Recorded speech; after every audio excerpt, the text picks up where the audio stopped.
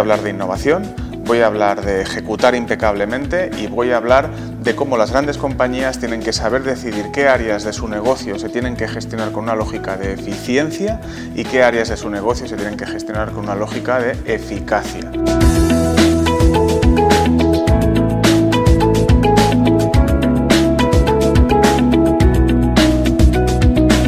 El escandallo es una de las herramientas informáticas más importantes que hoy en día tienen los empresarios en sus manos para poder optimizar bien sus beneficios en cada uno de los productos que fabrican o comercializan.